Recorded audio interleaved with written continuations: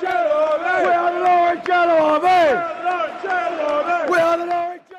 what is going on, guys? Talk Norwich City here, back for week 10 of the TNC podcast. It is truly flying by now, and very lucky to have alongside us Mr. Chris Goreham, Hello. Hello, everyone. BBC Radio Norfolk legend.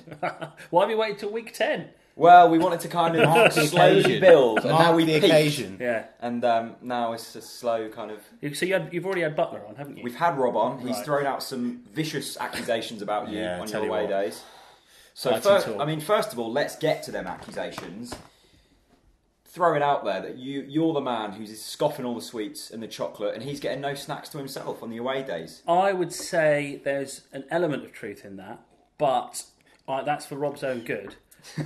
Part- partly because he did go through a, a mini spell earlier this season where he uh, gave up chocolate Okay. but replaced it with more sweets. Right. So I, I, that maybe defeated the object slightly, but fair play to him for giving it a go because I, I couldn't get through a whole season without without snacks.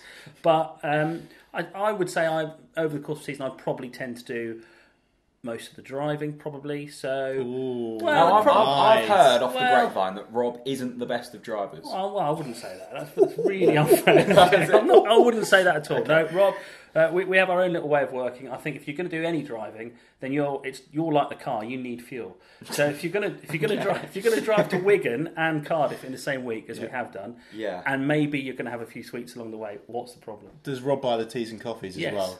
Well, Yeah, there you go he's a then. generous All evens man. He's a generous evens I. I like the relationship. you He have is on out. Yeah. Um, for we've got a lot of opposition fans watching this, so for Oh, really? people who don't know who you are, how would you describe yourself? Who are you? Um, somebody with a face for radio. Um, I've I've been commentating on Norwich City's matches for the last 10, 12 years, something like that. that long It now? is, yeah, Wow. um, amazing. But before that, um, Norwich City fan. Went to my first game when I was four years old.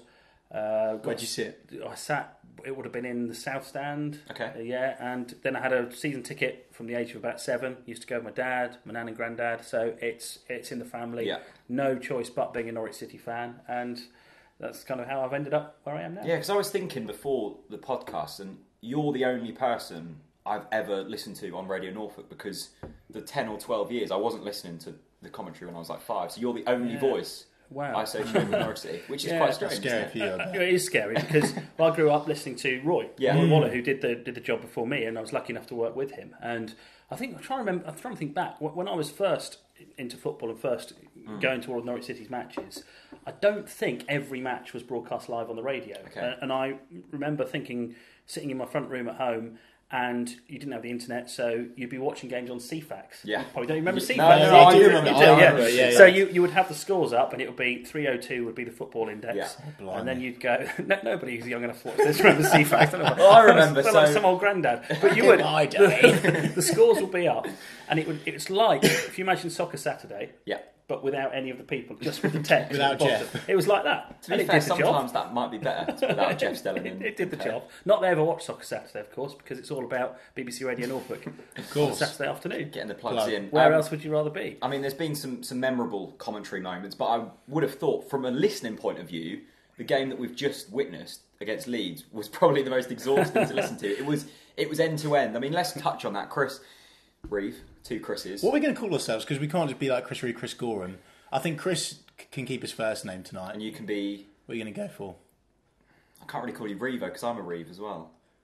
Oh no! This is yeah. weird, isn't it? This Oh no! I'll just call you Chris and look at you. If Yeah, but this is so confusing for, for listeners on SoundCloud and, and, and iTunes now. that's true. Revo, We'll- we'll- go Revo. Okay. go Revo. This is weird because my nickname's Revo. But anyway, Revo. Um, Leeds. It was a, Yeah. Story of our season, wasn't it? Yeah, it is. Um, particularly Naismith uh, absolutely summarises it. I'm going to go in early, Will Naismith, Jack. Uh, absolutely epitomises our season. Finally delivered some final product, scored. Um, I'm sure we'll go into the, the, the abuse that I got when Stephen Naismith scored. And then Stephen Naismith does what he does best and, you know, ends up ruining it. So it's a real shame, but it sums up our season. But it was a very entertaining game. Doesn't really matter. No, it doesn't matter anymore. But as as you wanted, Jack, you got what you wanted, which was to knock Leeds out of the playoff. Yeah, it, it was a beautiful feeling knocking Leeds out. I mean, let's touch on Stephen Naismith. I think he was probably one of the big talking points. Um, you're obviously not a massive fan. I know you have to stay fairly balanced, Uh, but Well, where, where do you stand with Stephen Naismith? I, I think in, in I think Stephen Naismith um, could have, and this is underlined in red pen, could could have a, a significant role, an important role in, in what Nor- Norwich City do next season. Now we're saying this without knowing what the rest of the makeup of the squad is going to be.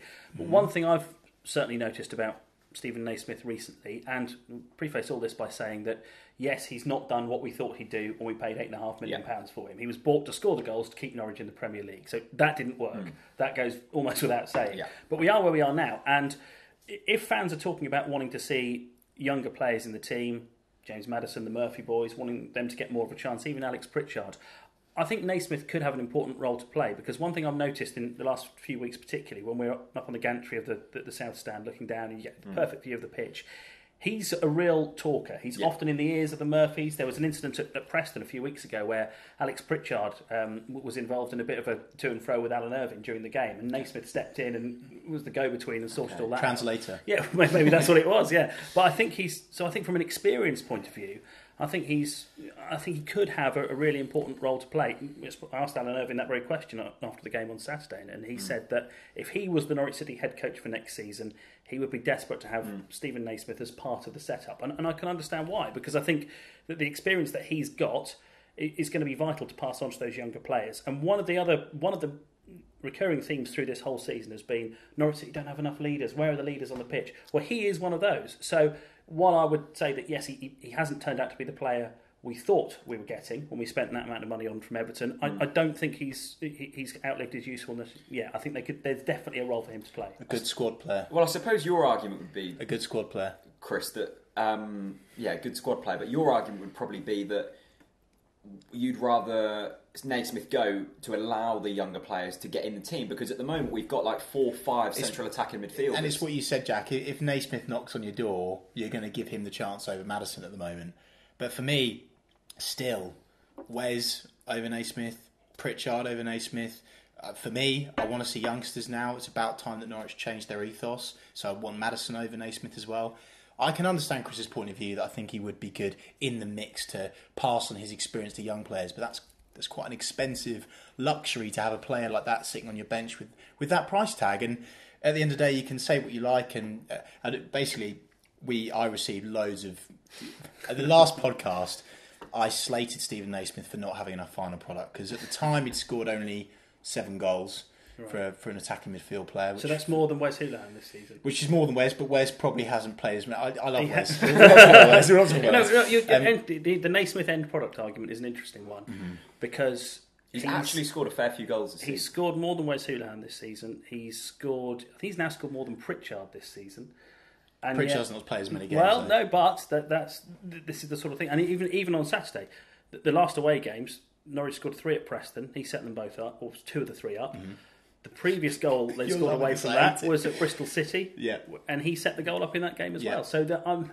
I think Stephen Naismith, I can understand why. I think because he's not turned out to be the sort of player Mm. we hoped we were getting, I think some fans have developed a bit of a blind spot to, Yeah. to his, his good points. Don't you think it's really frustrating though, Chris, that Stephen Naismith has only just started to deliver?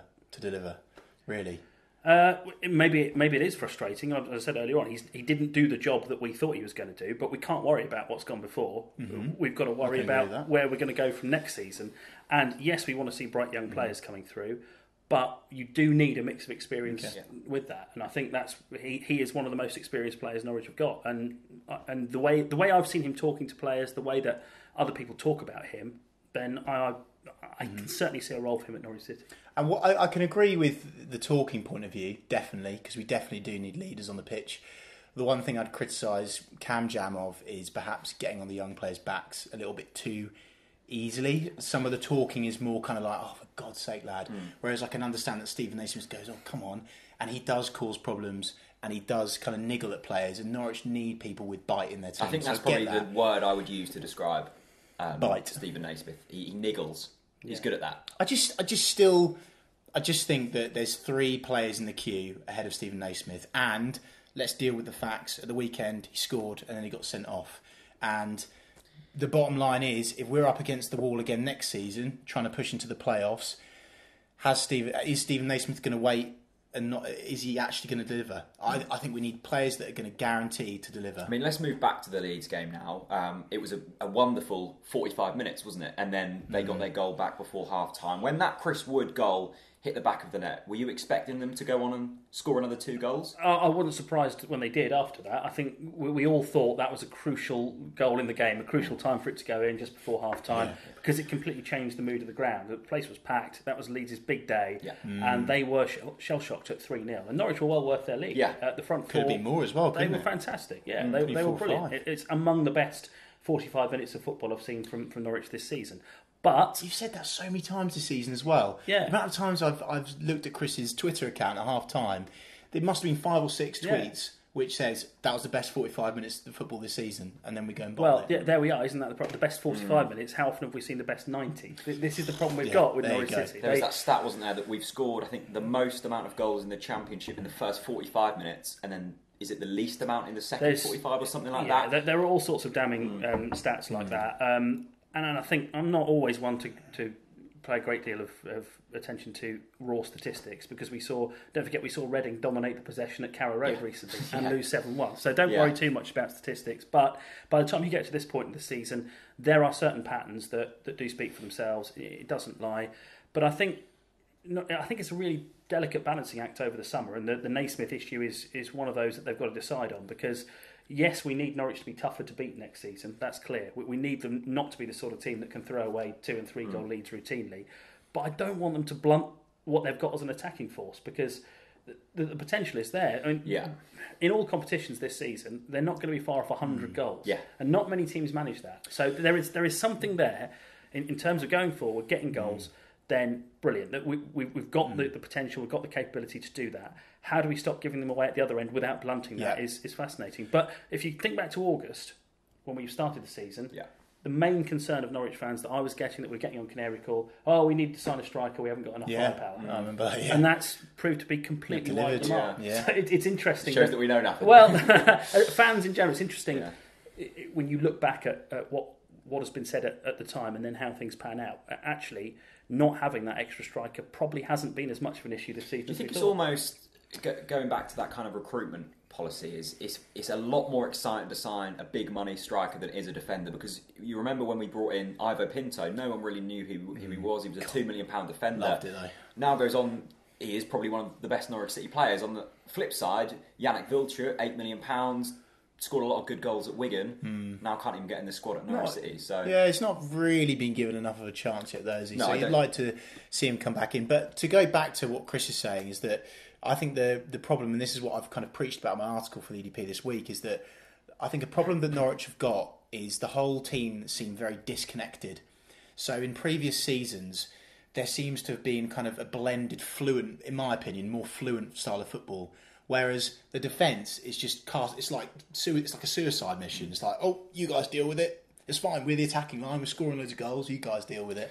I suppose the Um, interesting thing is that you just raised that we've scored a lot of goals this season, but also conceded a lot. You go back to Paul Lambert in the Championship, and it was a similar kind of thing. You score one, we'll score two more. Yeah, but you know we've scored a lot of goals this season. We've also conceded a lot, but it was the same under Lambert to a certain extent. So what has changed from that time? But we didn't bottle it, and we always believed, and that's the key thing, Jack. Is that the key thing? And everyone at Carrow knew if we went two down, it would it would almost almost felt like it was guaranteed to, to be two But two. what was different in that squad to now? Belief, belief. How do you create belief?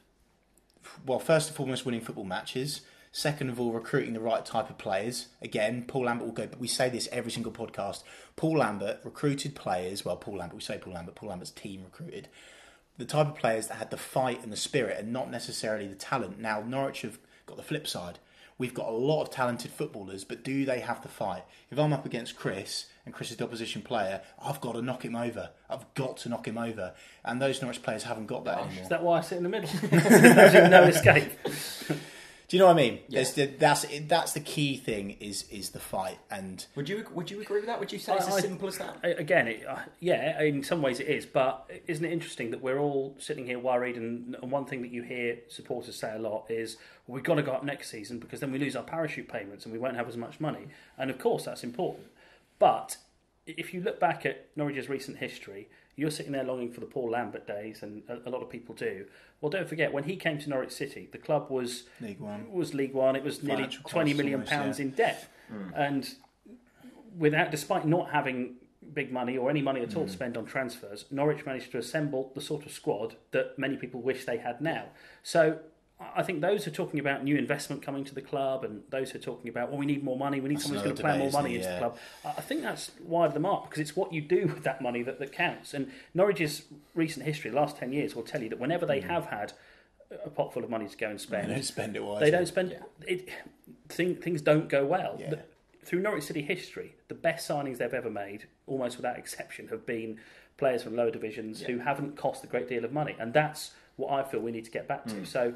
I- I'm not so worried about the, the, the loss of parachute payments or the potential of, of, of Norwich not being a rich club anymore. It's because stability. yeah, I, I really think that there's. It's not. If you want to win the Premier League and you mm. want to compete, you want to get in the Champions League, then yes, you do need someone with loads of money to help you get those players. If you want to build a team that's going to be successful in the Championship, and that's what we need to do now. Yeah. It's not about money. It mm. really isn't. Look at Villa this season. It's Yeah, just not about money. Very true. Very I true. suppose the frustration from Norwich City fans is the, the fact we've had money and then wasted that money. I think hmm. it, with anything in life, when you waste resources, that's a very kind of frustrating thing. I think it all stemmed from the wolf, didn't it? Really, I think they kind of got a wee bit That scared. was that. That seemed the turning point, didn't it? Yeah. Where we were like, "Yeah, we are going to go But out it- and get one of yeah. Europe's best strikers," Yeah. which he was regarded as at the time. It's just, it was That desperately and kinda got unlucky though, wasn't it? Because we were obviously then before the year before that we were allegedly in for Benteke, and look at how that could have gone for us. Hmm. So unfortunately, we were just a wee bit late. I do believe that if you're in the Premier League, you've got to take a gamble on some players. You've got to chuck some money at a big striker,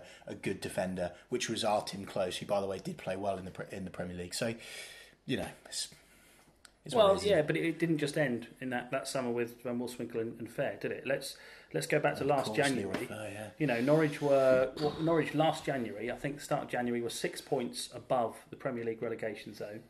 They were above Chelsea in the table, and this is only this is Yeah. not Oh, this is yeah. eight, this is not even eighteen months ago. Mm, how did it get worse? And that January, they did spend big money.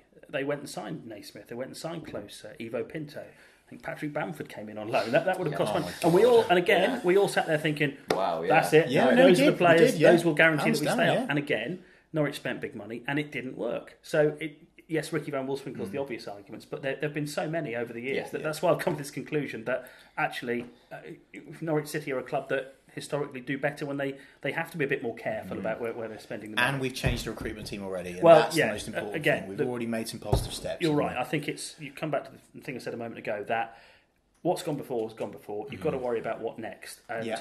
the board, everybody at the club has taken fair amount of criticism this season, and rightly so. Yeah, agreed, Norwich yeah. are are not where they should be. We all think they should be higher. But rather than sitting around wondering what to do, they have made changes. Yes. They've they've changed the way that they, they, they Mm-hmm. do transfers. There's going to be a new head coach. Alex Neil lost his job. Mm-hmm. So the areas that have been ripe for criticism this season, they've moved to do something about. Whether or not that's going to work, only time will tell. We're going to have to sit back. I think we might have It's to stomach. point. Yeah, I think we might have to stomach.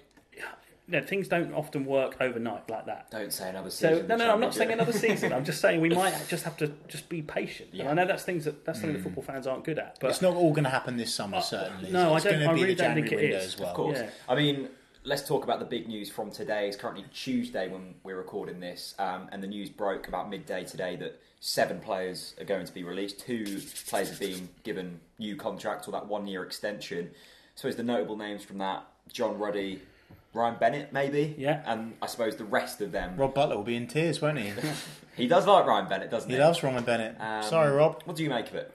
I think, Expected or- uh, yeah, I think. Well, let, us face it. Yes, it is expected because Stuart Webber has said there there are going to be changes. I'm going to change a lot of the playing squad. The supporters have said we need a, a dramatic change of playing squad. To do that, you need to free up money for wages and transfer fees. Who are the easiest players to get rid of? Those that are out of contract. So I think the seven players whose contracts happen to be up now are, I won't say unlucky because they've been paid handsomely for their troubles while at Norwich, but Yeah. they are in a position that, okay, it doesn't matter what you've done for Norwich before, you are now the easiest people to get off the wage bill. Um, had John Ruddy got another year in his contract, and I don't know, Michael McGovern's contract been up this summer, you may have seen that decision go the other way. So, yeah, I'm, I'm not really surprised by it because I think if Norwich are going to do serious transfer business this summer, they Yeah. need to start now. And the quickest and easiest way of getting players off the wage bill and getting things moving is saying, right, you lot are out of contract. Thank you very much and and, and goodbye. to, to, to go on to that is everyone is being like, oh my god, John Ruddy. But I think first of all, I think it's certainly time that John moved on. I really do.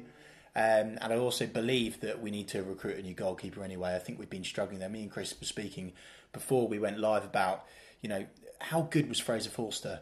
How good was Fraser Forster? He was extraordinary, and and and, and since, I, don't get me wrong, Ruddy from League One to the Premier League, those three seasons, he was brilliant. Yeah. Big John Ruddy, and he had a really great affiliation with the crowd. And for me personally, as a goalkeeper, I, I see that as quite important.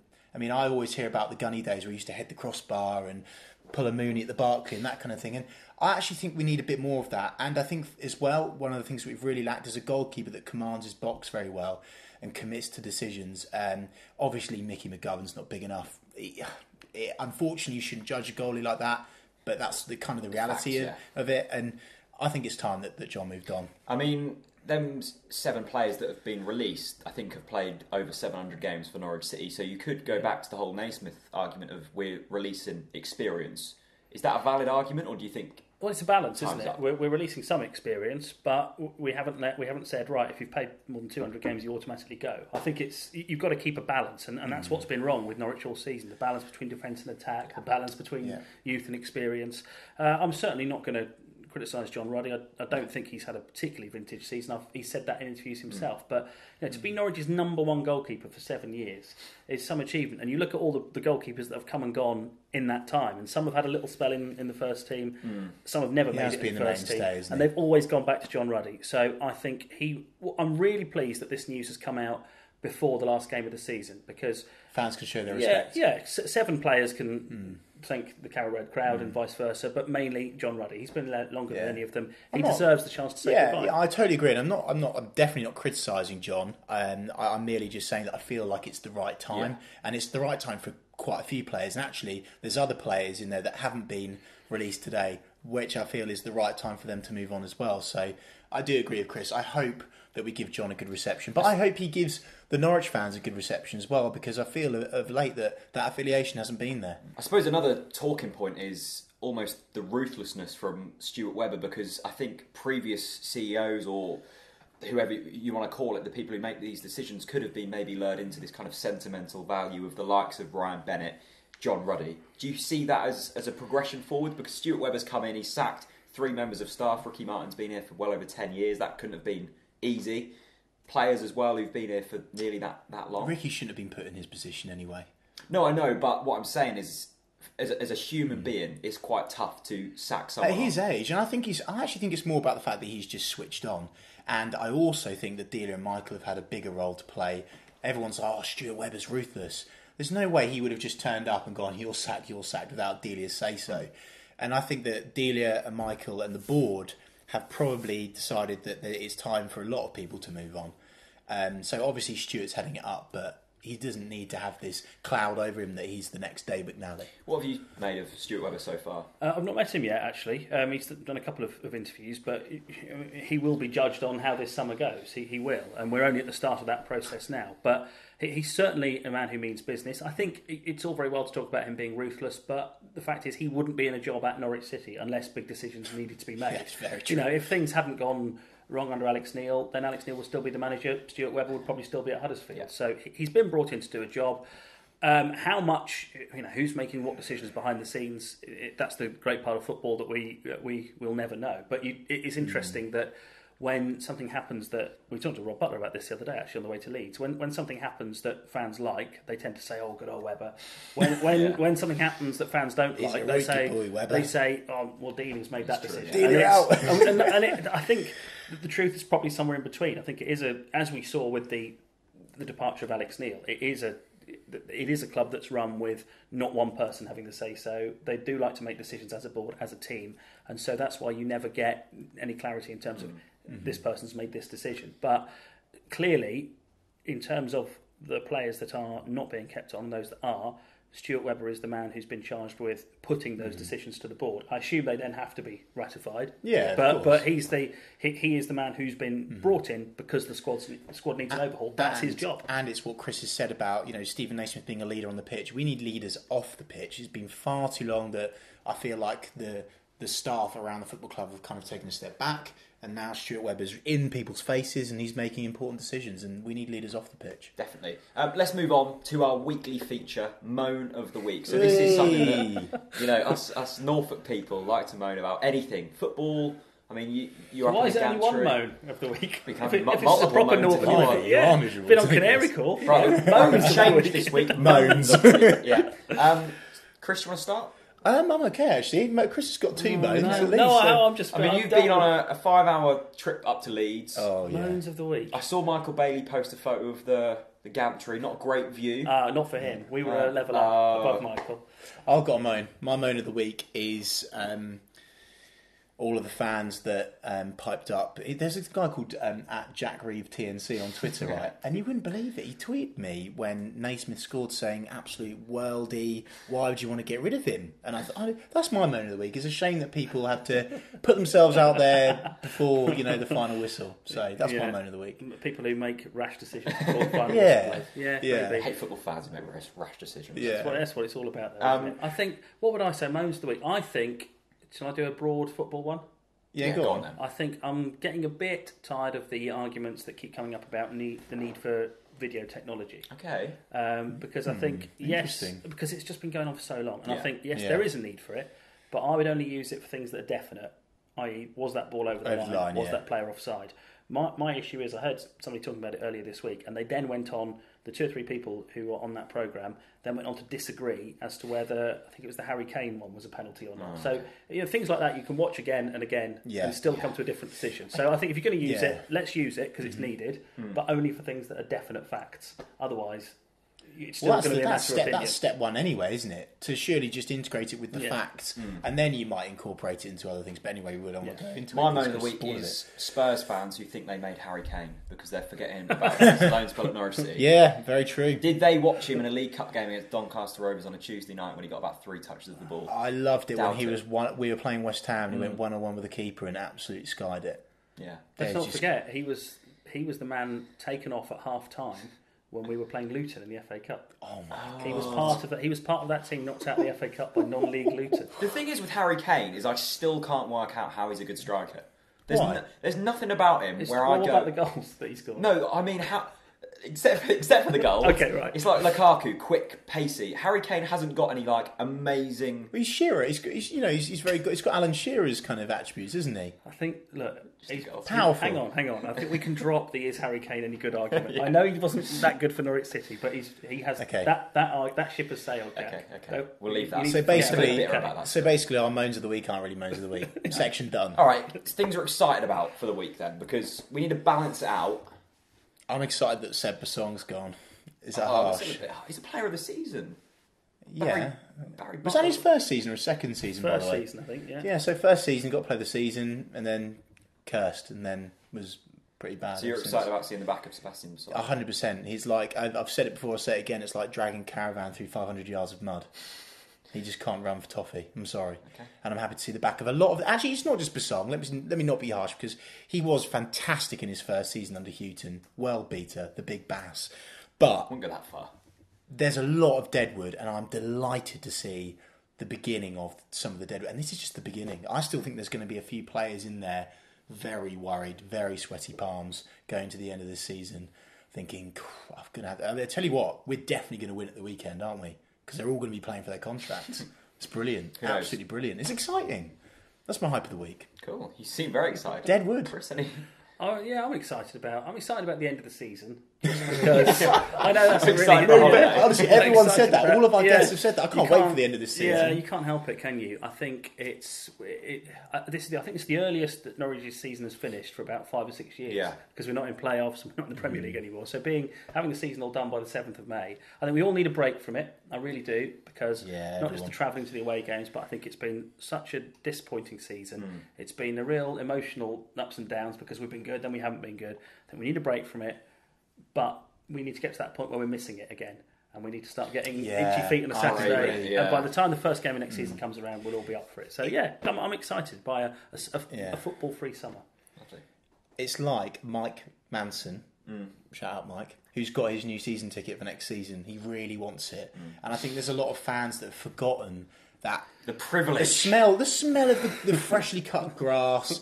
You know, 500 foot away from you at the Barclay, like that's what it's all about. Getting to Carrow Road, and we've lost a lot of that. My second, I can have a second hype. Yeah, go for it. James Maddison.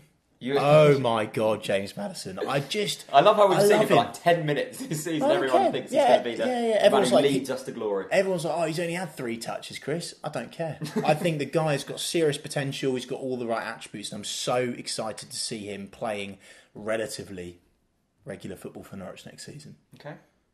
Not sure if I'm excited about anything, to be honest. What? Come on, anything? Jack. A cup of coffee was good. Um, Chocolates here. All well, you were hiding them up, weren't Well, I you? can't. That's because of it. It's my BBC background. I Go want to show the logos. Ah, okay. Can we just get this on camera? Other for chocolate Rob? bars are you- available. Chris, would you like this bar of chocolate? Well, I'll take it for Rob. hey, I love Um, it. am I excited about anything? Um, Come on, Jack. You've got to be. Come on. um, Have I not? In- Stuart Webber. I'm, s- I, I love the Yeah. I'm guy. excited about Yeah, The still Webber excited. effect. The Webber revolution. oh yeah, that's the it. Webevolution is here, and I'm still excited. Oh my god. No, um, anyway, let's move on. hashtag yet? Web, I think it is actually. Oh, Is it? Yeah, I think Yeah. we need to get that going. You know what? You know what? Another moan of the week is for me. Oh, no. Is that we still can't see the big screen. We live in 2017, and they haven't figured out a way to slightly rotate it a bit more, so the lower Barclay can see it. Yes. Can I just we have say? been missing the graphics on that all season. No, I'm right. Yes, we have, and I, that should have been my hype of the week. I sat in the NMP the other week. It's fantastic that big screen. no, seriously, the graphics, the way it moves. The And way, I- the way I it see- moves. What do you mean? It's like this. No, no. At the, before the game, where it goes inside, and there's all sorts of flashy images, and it's great. Absolutely I want to be able to see the big screen next season. Anyway, we went to you guys on Twitter and asked for some questions for Chris. Um, I suppose you might want to put this on the CV. The most ever responses to one of these. Really? I It was over 50 Oh, Put that, questions. yeah, excellent. Get that in the Do CV. I have to ask Um, them all? How many can I pass? Uh, Can, I, can, I, can we ask questions first before the other questions? Go on then.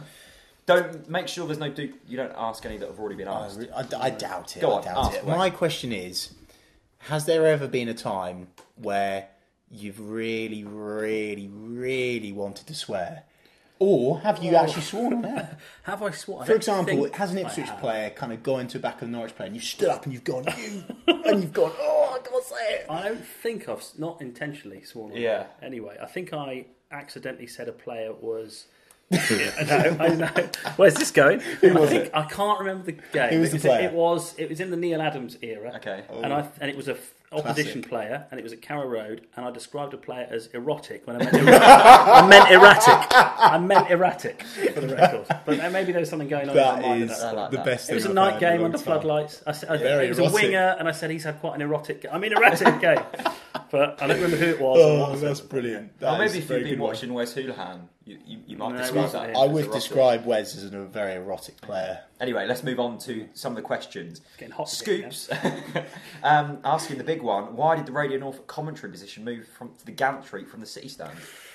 Um, well, I would say that I'm, I'm, you know, I'm genuinely interested that people are interested in that sort of thing because it, it all sounds the same on the radio. Sure. Well, I suppose Is that- maybe some people used to sit yeah. next to you. No, I'll, I'll, I'll Is tell it you not what to it do is. with Uh, no, the the traditional three seats above the tunnel is and will always, hopefully, will always be the Roy Waller commentary box, named Yes. after the great man, and, and rightly so. What happens is it, it's a lot more boring than you might expect. What happens is every few years, Norwich City and BBC have to do a deal so that we're allowed to commentate on matches. When they sit down and have those discussions, everything gets talked about in terms of where we're going to broadcast from, and they've got a lovely new gantry they've had for the last two or three seasons. So you might be released Stand. this summer then. Well, exactly. You might be out. You might be Well, with we're Carl all, Lafferty. we're, we're all the same. We're all like that. Um, we've definitely got next season, so I'll okay, tell you that. So I'm all right for next season. Um, and we got the chance to go and have a look at what the view was like from the gantry, and it's quite simple. It's better Yeah. because it's higher up, Mm, yeah. And you can move. You can move. Uh, a few people may have.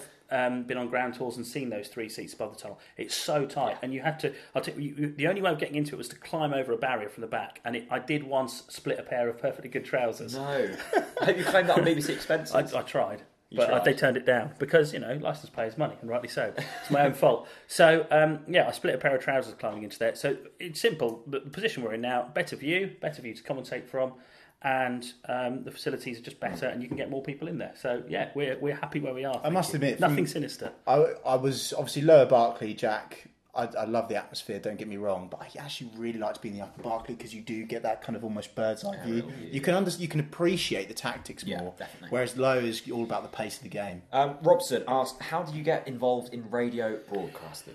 Um, Did you I- make the tea? Uh, yeah, pretty much. I just made made enough of a nuisance of myself. Um, I've worked out. I don't know what you, you boys are like at playing football. I've seen some of the videos of you, Jack. I hope the I hope the better ones. Okay, right. I was I was never any good. So, but I was a massive football fan. I was obsessed by football growing up. I was the sort of person that would have my um, Panini sticker album confiscated by the teacher on a weekly basis. So, you know, that was. Bit that of was my rebel life. school. Well, only not really, only from that, only from stickers. And um, yeah, and I Jack's wa- got some stickers if you want some, by the way. Have you- Yeah, have you've you got to got? buy them. though. Plug. No, my own Oh, stickers. your own stickers. Yeah. Well, not none of your old Norwich City players ones. Um, I used to collect shootout cards.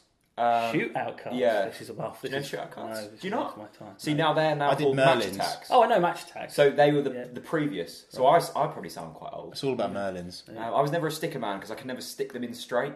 Oh dear. So I was a card man. Yeah. Um, So anyway, I grew up football obsessed, Norwich City obsessed, and worked out pretty quickly that the only way to make a living at football was not going to be playing it, was to do something else. And yeah, I always you. loved listening to football commentary on the radio, and I worked out at quite an early age that hang on a minute, there's people that is a job that you Yeah. can do, and. Um, yeah, I just hung around Radio Norfolk for long enough, doing various different jobs until they said, "Oh, you, you seem to have been around a long time. Do you want to have a go at football commentary?" and that's it, it- there's nothing more to it than that. Started from the There's bottom. really How's it? nothing more to it than that. And could you imagine it without him? no, I you genuinely imagine couldn't without because it? I've never heard anyone. And else. I love that. And I have to say thanks because the amount of memories that we've had over the, especially the last few seasons, the Derby, obviously, Mm. the Ipswich wins. There's just there's so many games of football that you wouldn't remember without your Well, I've. I've been really lucky because I I took over from Roy uh, doing the away games first of all when Norwich were relegated from the Premier League in 2005, and Yeah. in the years since we've had so many ups and It's downs. not been boring, has it? I think Yeah, true. I think the last the ten years previous to that were very. There was when they got promoted with Huckerby and all that was Yeah. great. There was the playoff final under Nigel Worthington, but not much else in ten years. So I've been I've been really lucky that the my initial spell as Norwich City commentator has coincided with That's interesting. with way to look everything. it, yeah. So I'm yeah you're you're only I've been a in, in a way, it's nothing to do with me as a commentator. In my time at Radio Norfolk, I've been a League One commentator and I've been a Premier League commentator, and it's nothing to do with me. It's to do with those people on the pitch. They ta- they can take us up to the Premier League. Will you be a European League One. commentator one day? with Norwich City? Yeah. oh, will you? No, I don't know about me. I, my only life goal is to watch Norwich in Europe. That's the only Really? thing I want. Once- Once that's happened, Yeah, life's that's a, complete. that is a thing that Jack always says. I've already started saving for it for the Okay. for the Do far you think it, and how do you think it'll happen? Yes, convinced it will. I think we might win the League Cup and get in that way. I Yeah. don't care how we get in it. I just hope we do. also, were you a person in like school and stuff that collected like all the stats? Were you like a spud? You He loved said he just- doesn't- said he doesn't like no, stats. I'm not. He not killed you on the really. Naismith stats. I did. so- Oh God! I, yeah, but I've got a, now. I've I say I like facts and not stats. What's So- the difference? the difference would be, uh, that's a, yeah. How do you Words instead of numbers. Maybe. So you would say Stephen Naismith has scored more goals than Wes Hughes. Stephen Oh, Naismith. okay. Stephen Naismith has Okay. been sent off. Yeah, so for that another fact. Okay. Yeah. But Like yeah, it. it's Stephen some- Naismith because I think now with stats, I mentioned the possession ones earlier, and you get these ones that come up now. They tell you how far a player's run. There's only game. one that You're not matters. a fan of that? There's only one stat that matters. No, I'm not a fan the of that. You know Simple why? that. That? Because that that all that running he's done might have been chasing after other people who've got the ball. Yeah. So it doesn't mean that he's done well. Stephen and also, Naismith. and I will, uh, can I mention? Am I allowed to mention Michael Bailey? Have you had him on this yet? We haven't. We're You trying to do, get him. because We will. Michael does put, and I, had, I have had a laugh about this with Michael. He um, posts up some stats post match on Twitter, and I don't know if you ever looked at them, but it's got shots on Twitter. Goals are the third thing. On the Oh, stats. really? yeah. That- that it's- I think I can't remember what the two above it are, but it's something like um, shots and shots on target, and then oh goals, Yeah. which to me should be Most the most important. important. You know thing. what, But I've they're not Michael. He gets them off some website Yeah. somewhere. So I would love it. Could you imagine if likes of Chris, Michael, Rob all had like a WhatsApp, like a group WhatsApp group where they're like, they just have like alternative commentary and alternative facts. we sort of do. It's like, do do you really? Brilliant. Like draw, like draw on Chris's face, or you know, you know that kind of banter. Maybe they do. Maybe. Yeah. Hopefully Yeah, not. I've not been invited into it. Jazzy Green asks, which ground has the best view from the press box? well, now it's Norwich. Is it? Yeah, it really is. Wow. but, but that's not the press box. Well, we're winning the something then. Yeah, so there a I would say that. that, Um, oh, where else has been good?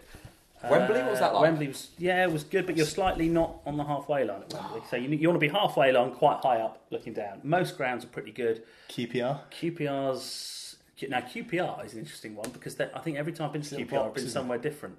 And Ah. this year they put us in a position where we are away from the rest of the press on a gantry, but it's so because that ground is like a shoebox. It's so tight Mm. to the pitch.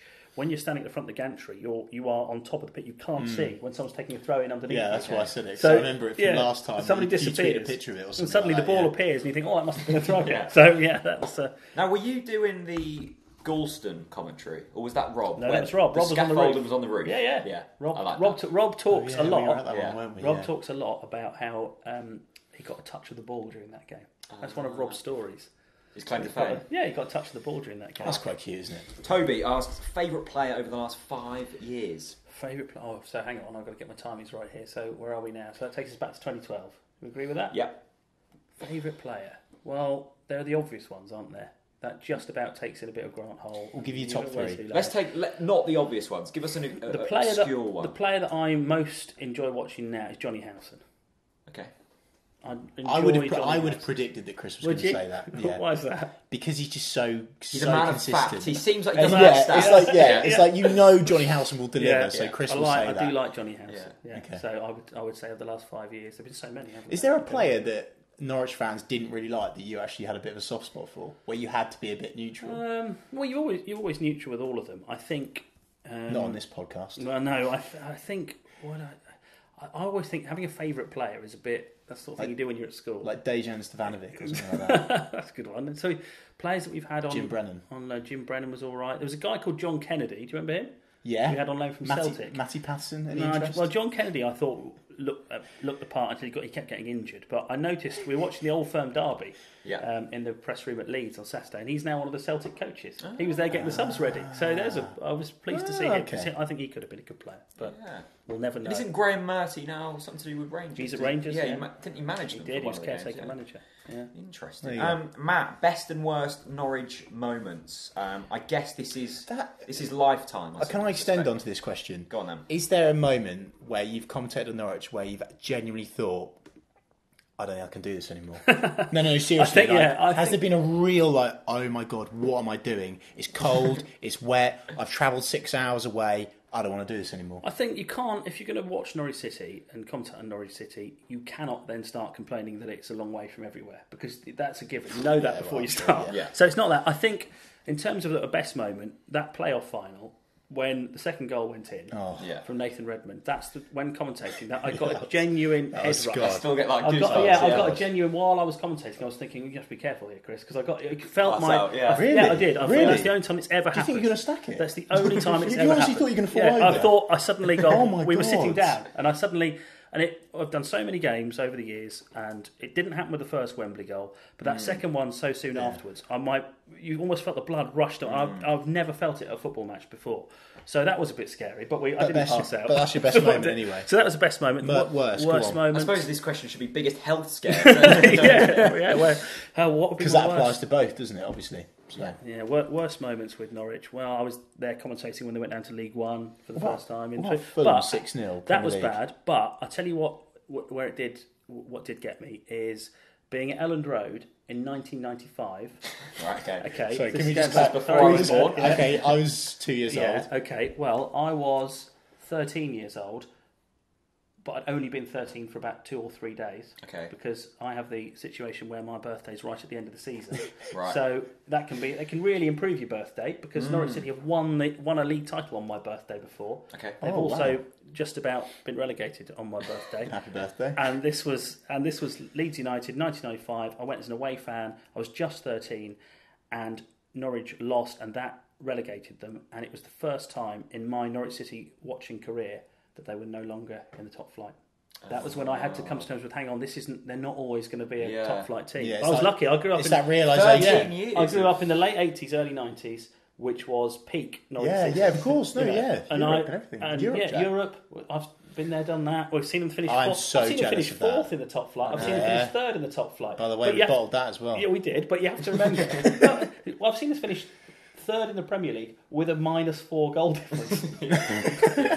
so that Classic takes you down. Norwich. But and you think when that when those are your first few years supporting Norwich, you tend you can't imagine them Mm. not being in the top flight, and then suddenly they're not, and it's it takes a it comes as a real hammer blow that your Especially team. that I think- age. oh, it does. I Yeah. have to say as well, a lot of Norwich fans are going to go through what Chris went through then, because there's a lot of young Norwich fans now that have joined in that massive stint, that League One, Premier League, Premier League, Premier League, Relegate, Premier League, Premier League. Mm.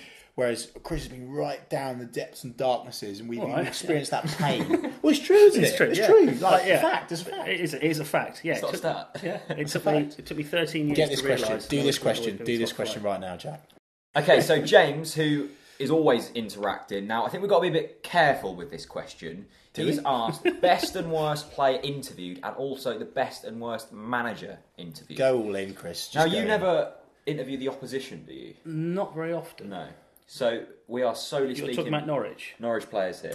Well, I would now. I'm going to come at this from a, a self-critical angle, and I'm going to see that I'm going to say that a bad interview isn't always the fault of the person being asked the questions. Oh, Nice. that's nice. Yeah. That- yeah, so nice. if if I come away from an interview and it hasn't gone particularly well, and I haven't got much of any great note out of it, much of any great interest out of it, then it's probably as much to do with the quality of the questions that have been asked as to what the player has said. So I would say that. I would, all I'll say is that if you, um, I can talk on the radio, but if you put me one on one with the goalkeeper in front of the Barclay in the final minute of a championship match.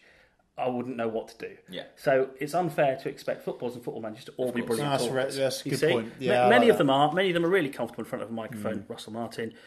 Others, you get the microphone out and they try and run a mm. mile. Wes Hoolahan? You know, he's do, he does not Yeah, like doing yeah, media. true. So, but but I don't hold that against him Yeah. because there, there are lots of things in life that I'm not comfortable doing. Sorry, just I just heard Russell Martin come out of Chris Goreham's mouth. So Russell Martin, he's got to stay at the football club, isn't he? I don't see any reason why he's he should go. Yeah, he's great. It'd be He's- silly to get rid of him, But wouldn't having it, sit here and, and talked for so long about needing leaders, and he's the captain at the moment, then it, I would it would then be hypocritical of me to say That's that- one. That's one. One. Naismith and Um, James, if you could commentate with anyone in the world that you haven't sat next to already, who would it be and why? Wow, that's a good question. So you're talking about a former player who it's got to be a former player who. Yeah, I guess, or, or anyone really. celebrity, Right. anyone. Well, let me tell you, who would you like to hear doing a game? Bearing in mind, You, you're- should I tell you what I'd love okay, to let, do? I'll, I'll give you the parameters. We're, Okay. we're, this, it's likely to be on Radio Norfolk. Let's Yeah. face it. Okay, You know, okay, Match of the day okay. haven't come That's calling a yet, shame, so it's going to be. we- it, we we tend to like it to be a former Norwich player. Yeah, yeah. So Okay. who would you like it to be? Who would Mark you like Tierney. To, you like to hear Oh, Mark what Yeah. is your obsession with him? Hundred percent. Now, And this- I'd also like you to get him to do cartwheels whilst commentating. What from that gangster? yeah, That's Yeah. impressive. Now you do realise I've given you the whole of Norwich City history to go at, Marc Tierney. and that's the level of your am- and that's nothing against Marc Tierney. You know, the mm. ambition you've got is Marc Tierney. Yeah. What about you? Chris? I mean, to be honest, I always, always love listening to Gunny. I just, I love listening to Gunny. Something I you think haven't he's- heard because Gunny's on on there quite a lot. You're sorry? Gunny's on. Oh, oh yeah, regularly. yeah. is who sorry. hasn't- this is who's I think, never done it. I think I'd, I'd love to. Is Dion, is Dion Dublin been on? He's No, he hasn't, purely because he's my favourite Norwich player Yeah. ever. So would be a I love. I love Dion. Yeah. Um, anyone with that kind of passionate fight, I just love to hear that. You know what? My I kind of got this bit of a thing right. I'd love to do some frank Norwich City comment- commentary. So basically, I have this thing like, could you imagine us through in, in the commentary box? Chris is being all Chris Goreham over it, saying, "Oh, it was a good clearance," and me and you were like, "That was absolutely terrible." Like, really going in for it. I think that'd be fun. Okay. What about? What, can you imagine if Delia ever did a game? Oh, now that would be. Can you imagine hearing what that would be Well, like? well, no, it'd start off quite well, and then obviously the sherry's at half time come in, and it all goes. Delia. See, I've actually sat next to Delia at a football match. Yeah, you have So I've pretty much yeah. heard her commentate over a game. I was at Southampton. We lost four two. I'd sat down. I think about five minutes had gone. There was two spare seats next to me. Mm-hmm. Delia comes in, sits next to me.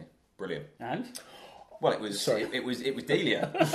Actually, I've sorry to go back to what I just said, but the the closest person, and I love to listen to it. Actually, more than Gunny, I'm relegating Gunny. Mark Rivers. Oh my god, he's brilliant. Mm. He's brilliant. He's so good because he says it how it is, mm. and he's so like no, it just goes for it, and that's exactly what is refreshing to hear. I'd also quite like to hear Timm Klose do one. would you? Yeah. Okay. What you love? I'll tell you Close what. the moment. When when Norwich get into Europe in your dream in years to come, Yeah. then may, maybe we'll get drawn against a German or Yeah, Swiss team. be he might be. He may, he maybe it'll be some. He'll be retired by then, Yeah. living in his log cabin on a snowy mountainside with his chocolate, and we Yeah. will be able to get him on Brilliant. when we get drawn against I'm trying to think of a Swiss team. Grasshopper Zurich. Oh, that'd be good. So that's, this is the nice Jack Reeve dream. Yeah. Europa League qualifying round in Love it. July. Who would be the ideal team for Marc Tierney to commentate over? Uh, he, went, he went to Bolton, didn't he? And he, Yeah. Colchester, but we don't want to be in the same. That's division. so dry. Can we not talk about Oh, Mark well, Bolton next year. We're going to be playing them. All right, I'll see what I can do. See what you can do. Lewis asks, "What's the best thing about your job?" P.S. Love your commentating. Appreciate all you do. Thank you, Lewis. It's all got a bit Steve Wright in the afternoon, isn't it? Love the show. Love the show. Thanks, Lewis. Um, best thing about my job, well, I'm a Norwich fan, and I get paid to watch Norwich. What? It's it's a fortunate position to be in. I, Is can't, it- I cannot dress that up in any way. Hmm. I'm lucky. Is it tough? Do you feel like you sometimes lose? Yeah. The, do you sometimes feel like you're not a fan anymore? Yes, I would. No, no, not. I wouldn't say I'm not a fan anymore. I would say that the fan experience is diluted Yeah. because you are always having to think beyond just what your emotional reaction is to a situation. It, hmm. it's always what is the story here. Yeah. You know, Norwich have just thrown away a three hmm. goal lead at, Leeds United. The story there is. Leeds United still aren't going to make the playoffs, but mm. inside you're thinking, "Ah, oh, Norwich," you know. So yes, I think I think for me, I find that results, the reality of results, sink in once I'm at home on a mm. Saturday evening. It's only then you go, "Oh, we lost today," or then you really get excited about the win after a game. 'Cause as soon as the game finishes, my job is to get down to the side of the pitch Yeah. and try and interview the manager, whoever it may be at that point. So, trying to think of the right been me. questions, exactly, trying to think of the right questions. That that's always your main concern before you can then actually sit and think about what was that like as a Yeah. fan. Interesting. Do you ever miss kind of the sitting like? I was going to say this. and- Like the Were you- carnage when we score. Um, I went to the Wolves game at Carrow Road this season in January. I took the day off and took my son to his first proper, uh, proper game. that's brilliant. And what I- what really, and this is something that I think we can, not just us, but I think the media misses out on.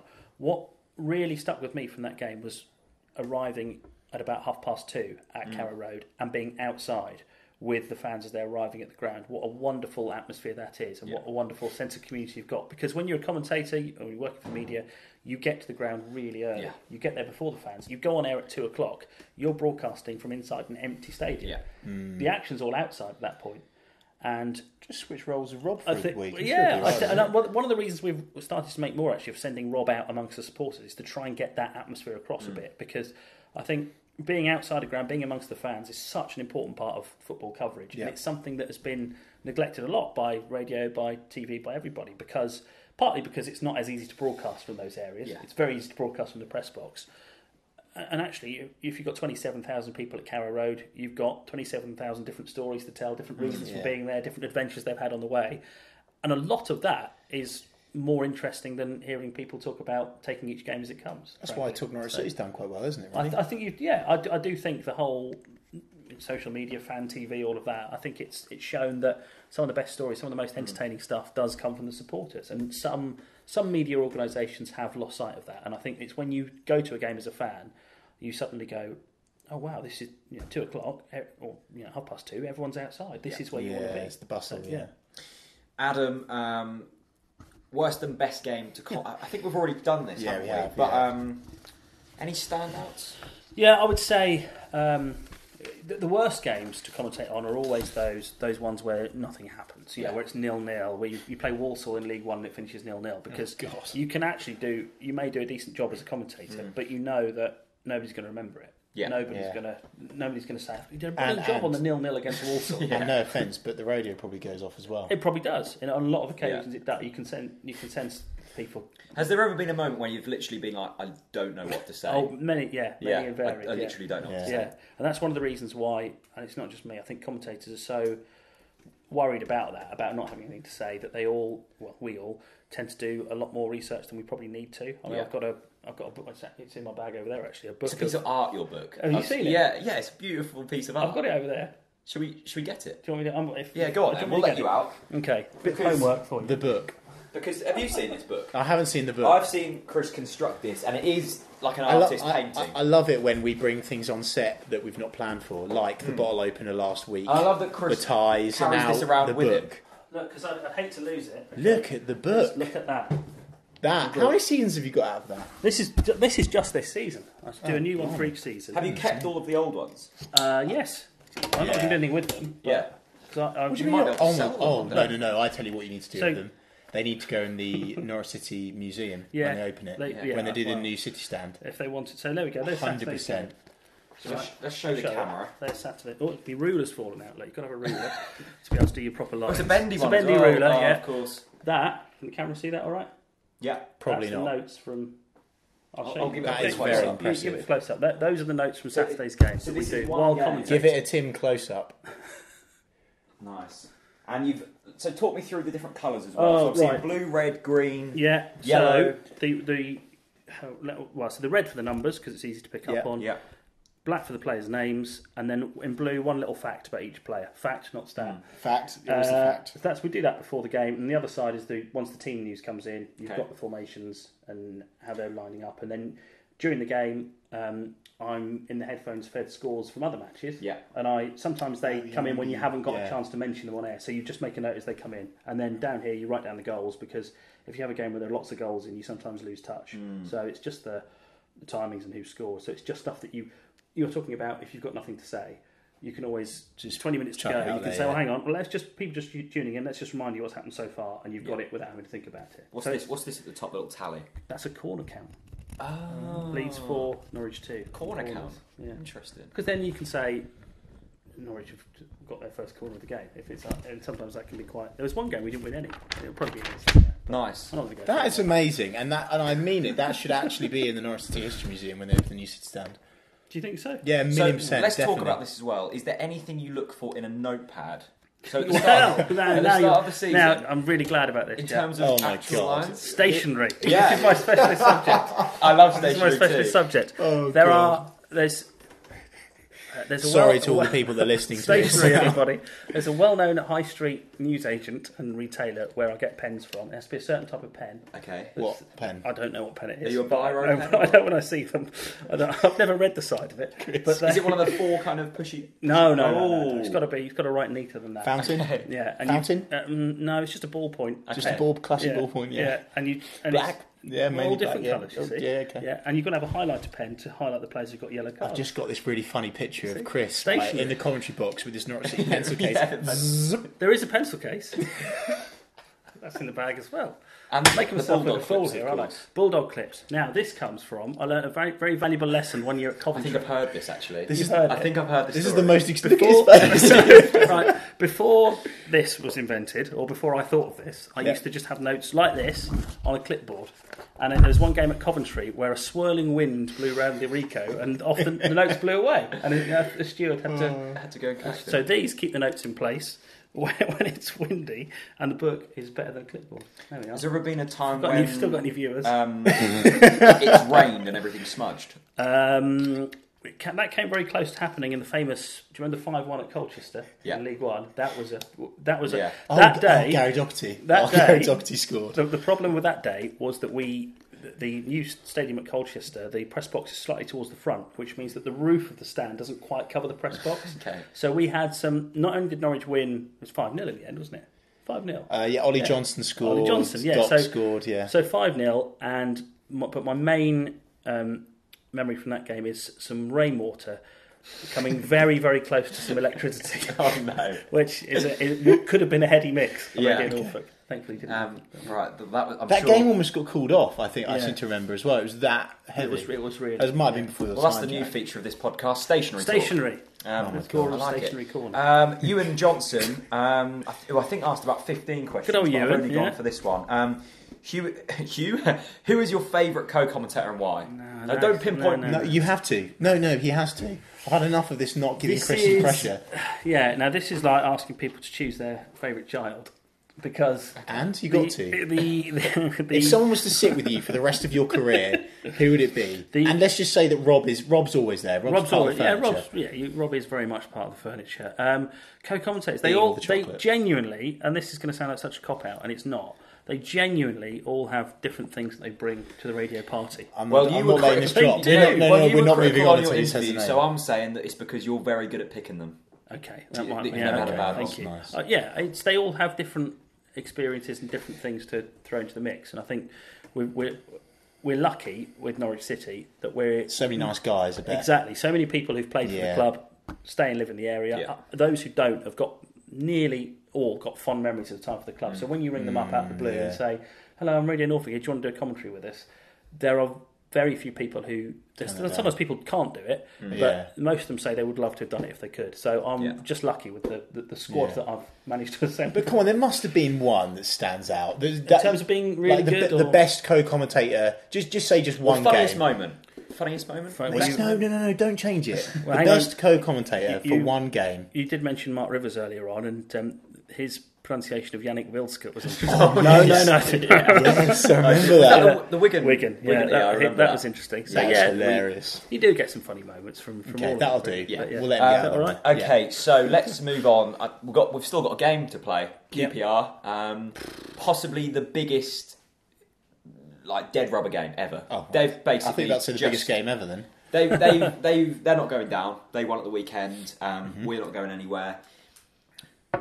What, are we thinking? Is there any talking points from it? I would love, love, love to see as many youth players as possible. Like I I really would, I really would, because there's the the experienced players this season haven't delivered, and for me, in terms of the the, the long term objective, I think that you could actually, I think the board.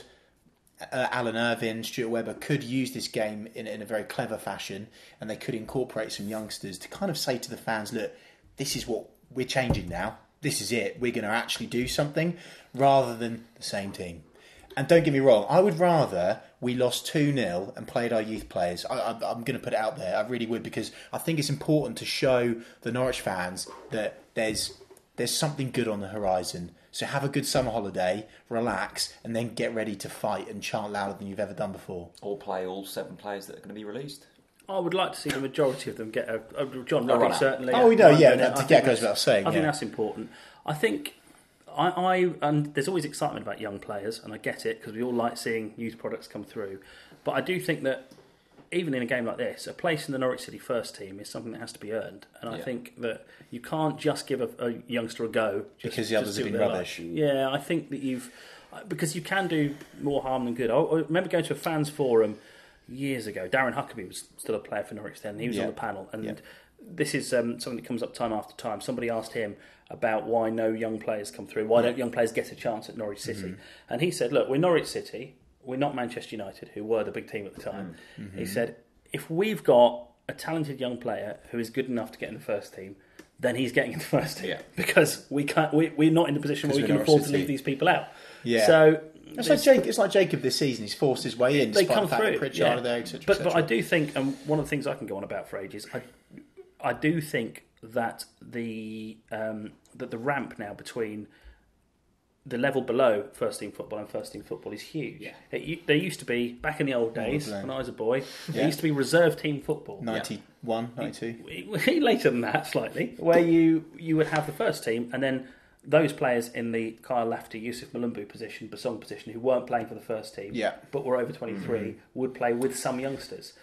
That I always thought was a much better grounding for young players. And now you've mm. got managers, Alan Irvine, Alex Neil, who are sitting there thinking, well, this young player A may be good, but I've not seen him play against Yeah. proper players. The Murphys have got in the Norwich first team, having gone out on loan and got that experience elsewhere. Mm. But Mad- think- Maddison's been out on loan. Mm. Yeah, I do think that's a real gap. And, Toffolo's been out on loan. And Maddison's played first team football elsewhere. Morris so has been out on loan. He's now getting his chance in the first team. Yep, no, I totally agree with it. I mean, from my personal opinion on the youth prospects is that I completely changed my opinion this season because previously I, it really annoyed me when the Norwich fans were like, "Get a youth involved, Bert. It's. That's got to get them in." When there was no real substance to that argument because we were actually kind of doing okay, but when the experienced players don't deliver, I do have to slightly disagree with Chris. I, I really do genuinely believe that actually it probably makes the experienced players think, oh God, I'm in trouble now. I've got the youth on my back. I've got to run faster. I've got to run more than anyone on the pitch. Fact, stat. my one, by the way, is um, I, I like to say my observation rather than my, than my opinion. Okay. What's your thoughts Your on that? observation? commentary? What- Yeah, so if you've got, so for example, Yeah. if you wanted to say, look, I really think that in my, rather than saying my opinion that Stephen Naismith's been absolutely rubbish this game, Right. you'd say My observation is that Stephen Naismith hasn't And run as far as he say should be. Because basically, it's by saying it's your opinion makes it quite aggressive. Whereas Okay. if you say your observation is just what you've seen with your eyes So it's than what your you feel your soul. it- it's when you're expressing an opinion that you're not 100 percent confident. in. Yeah. You It's use the you frame have- or you don't want to get. It's basically when you have to cover Slated. your arse. Just I mean, feel free to use it. You know, Okay, credit credit look out me, for that, fine. yeah. Right, I think we're gonna we're, we're gonna end it there. We've covered a whole lot of topics. Um, Chris, a massive thanks for giving up Yeah, your cheers, time. mate. Thanks for Um, the invite. Yeah, you've got a cup of tea out of it and a Yeah. Packet of crisps if you, You want. made me talk too much. It's gone cold now. Oh no. Oh well, maybe another one. Uh, anyway, massive thanks for you guys for watching. Please subscribe on um, YouTube. Go and check out the Scrimmage YouTube channel. We're we going to see any more appearances from you on there? Possibly a face for radio. You know, should I like, hope. I like to keep these things um, these things few and far between. We'll see. Anyway, go and check out the Scrimmage YouTube channel. Links in the description, and of course, Radio Norfolk on a Saturday if you can't get to a game. Um, subscribe on iTunes. Subscribe anywhere you want to. Thanks very much for listening, and we'll see you very soon.